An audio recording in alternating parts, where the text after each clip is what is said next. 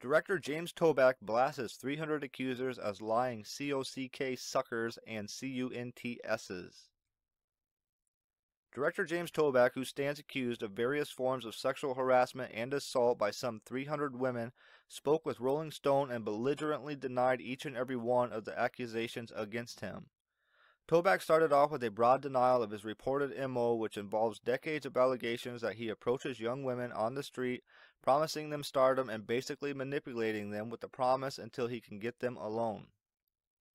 Once alone, he is accused of trying to pressure some of these women into removing their clothes, masturbating in front of them, and even menacing them until they agree to touch him or let him rub up against their leg until he orgasms.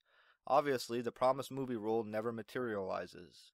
To this, Toback says the idea that I would offer any part to anyone for any reason other than that he or she was going to be the best of anyone I could find is so disgusting to me. And anyone who says it is a lying COCK, sucker, or CUNT, or both.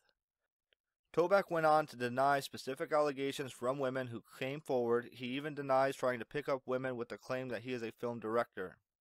Toback says, No, I've never said I'll get you a film role to anybody ever. Interviewer says, Anything to that effect. Toback says, Anything like that is nauseating and disgusting, and I would never say anything like, I'll get you a film role. It's too stupid to dignify. It's pathetic lies. It's just too effing embarrassing and idiotic. And if I were you, I wouldn't go repeating it unless you really knew it were true, because it isn't. So that's all I have to say. This is not worth wasting another second on. During the interview, Toback also plugged his new movie.